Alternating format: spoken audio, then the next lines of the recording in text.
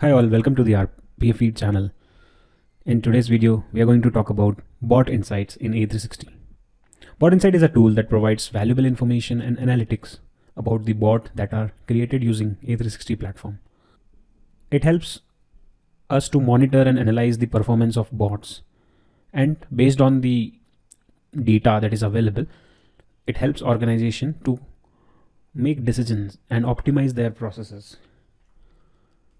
Bot Insights gathers data and generate reports on various aspects of the bot activities, which is not limited to bot execution time, error rates, and the number of tasks completed. This is one of the sample dashboard. This is how the bot dashboard looks like.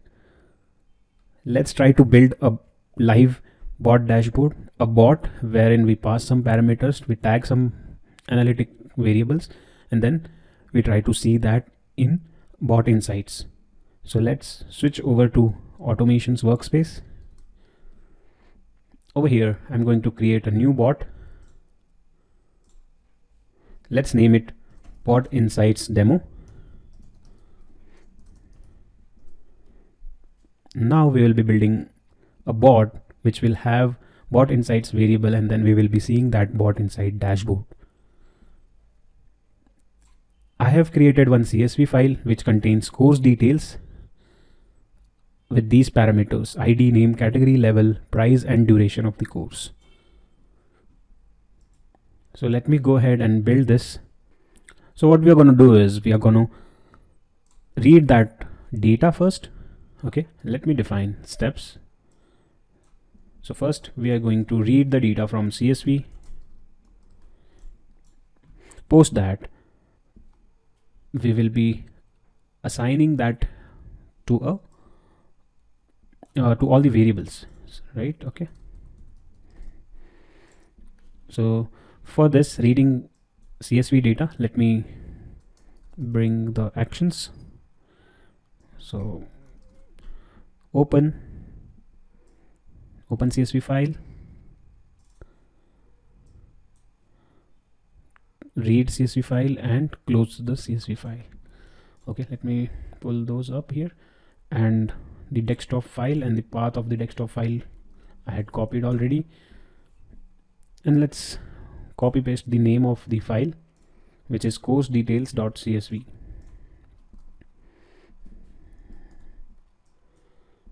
and it contains header and the delimiter is comma. We want to trim the leading spaces trim trailing spaces.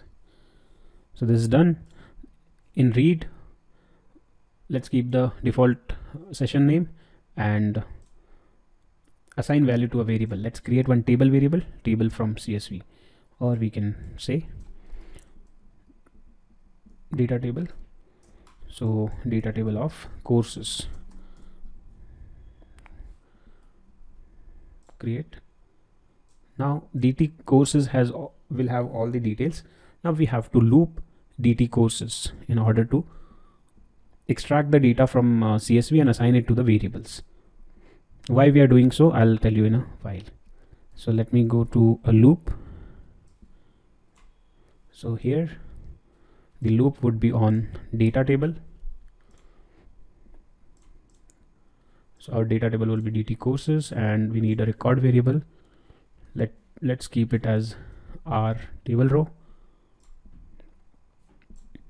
Now we need to assign all those variables which we are reading from the DT courses. Okay. Let me open the Excel uh, CSV file in a notepad just to copy all the headers. Okay. Now let me go to assign. So first one is the course ID. So let me pull up a number variable assign this would be my records dt uh, sorry this will be my record variable and the uh, by index or by name. I can do by index as well as by name. I prefer going with name. So that's ID and this our table row ID we uh, this value we have to store it in a number variable. We need to create one which would be a n course ID n as y as is it is a number type variable. So this is uh, the naming convention that I follow in order to uh, create variables. So this is done. Similarly we have to do it for rest of the fields. Let's do it for name name category level price and duration. Quickly copy this two times because we will be needing them and then go to string package and assign so here I'll just copy this again. For now here I'll go and select the table row and the name which I'm going to put is name. It's a course name. Insert. And then we have to create course name variable. Let's create that.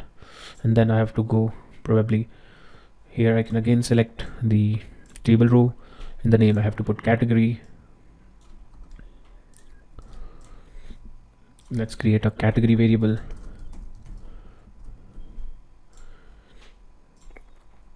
And then after that we have a level which is again a string. So let me copy paste this. Instead of category I'll need to put level. And here let's create a variable name level. And then I have price and duration. So let me go ahead here and put this in exact format exact header whatever we have now the thing is it will not accept the special characters so here. So we have to change that. So what we can do in order to get rid of this error is we can put these in quotes. Okay now this error is gone. And let's create a variable for this. In order to hold this value it would be n price. Similarly we can do this for duration of months duration in months let me go back here and put this value in a quotes. Duration of month. Let's make let me create a variable and duration. Course duration or duration that's fine.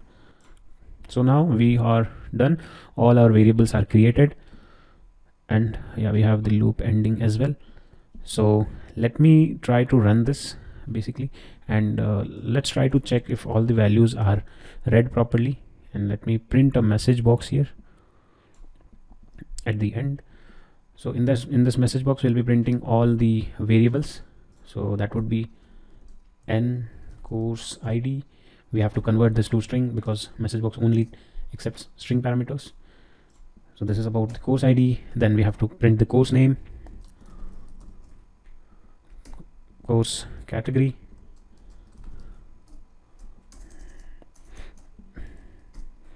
and then we have level. Price dot to string. And then we have duration. Dot to string. So with that let's try to run this. Let me close this file. And let's try to run and test if we are getting all the values correctly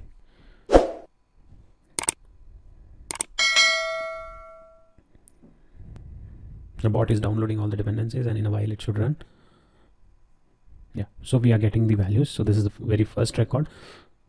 We'll get message box for all the 10 records and then bot will complete it. Execution. So this is done. This is a normal bot building which we have done. Now we want to tag we want to tag all these variables as a bot in, uh, and want to see them in a bot insight dashboard. So for that we have to go to analyze command or analyze package. And in analyze package we have to choose this open and close actions. So basically whatever is there whatever assignment or transaction which is done within these statements will be tagged as a bot insight variables or your analytical variables. So if you wish to not include some of them so from here you can select all then all will be tagged. If you wish to not tag some of these or you wish to tag only few of them. Let's say I want to tag co uh, course or duration price category and course name and level. I don't want to go with course ID maybe let's say. So then you can select accordingly right? So this is how you have to include them. And for now let me disable the message box because we don't need it. So once you have configured this uh, within the analyze open and close actions you have to run this bot again so that uh, this registers it as a uh, available it's available within the bot dashboard. So let's let us run this. Initially remember we had ra ran this just to check our logic right? We are reading the data correctly and then we are assigning the variables correctly. But you have to run this uh, once you have this analyze open and close command. After this you have to run this. Once the bot run is successful then you have to click on these three dots and from here you, you need to click on bot insight analyze dashboard. So this will create a dashboard for you. It will configure your business dashboard. See here with the, the default name would be the name of your bot and this is what you have got your variable name. What is total duration total price level and course name so here you have your courses uh, like your entire dashboard is built. It is the collection or sum of your total months sum of your price in dollars and the course name. The various different courses that are available and course name by duration. So machine learning is uh, the duration is five months similarly for others as well. So this is donut chart. Then this is a, a different bar chart which is giving you uh, displaying duration by course name. These are the course and this is the duration. Then here duration and the level. So you can modify these. If you don't want uh, if you don't like the current representation you can very well go here and click on settings. Then whatever you want to name it you can change the name. You can change the bar type let's say maybe line. And we click on next. Finish. So it, it's it's changed. You can see the representation is changed to line. Similarly here you will see all the attributes all the variable names that you have tagged which are numeric which are string right? That kind of variables. And in profile you will you will see the data types and what operation it is performing right? Rank sum average. You can edit those as well. And this is the transaction data which is being calculated over here. And here you can when you're changing you can preview as well. So that's a basic uh, uh, logic behind building a dashboard. And then you can filter out the dashboard. You have different actions over here to save this dashboard or maybe publish this as or download it as a pdf and get the screenshots. All these actions are also available over here. You have a filter a date range filter.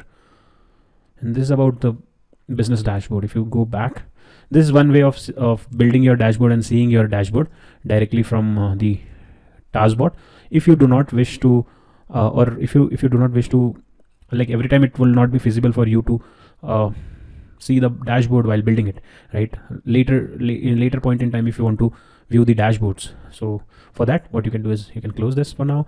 You can go to home page uh, the explore part of it and here you have the link. Open bot insights you can click here.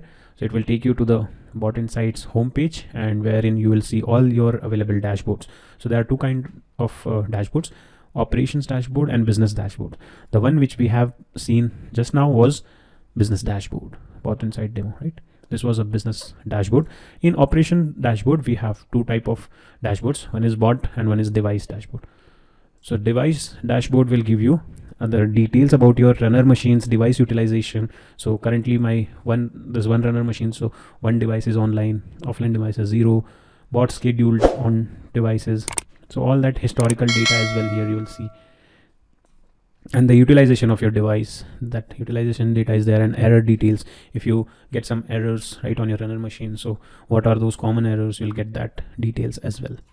And in your bot dashboard it will be the parameters the, some additional parameters which are excluded. The device related details are excluded here. Apart from that you'll you'll see the data.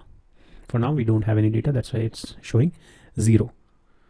So that's pretty much about bot insights in a360 please like this video and subscribe to the channel. We'll see you in the next video. Thank you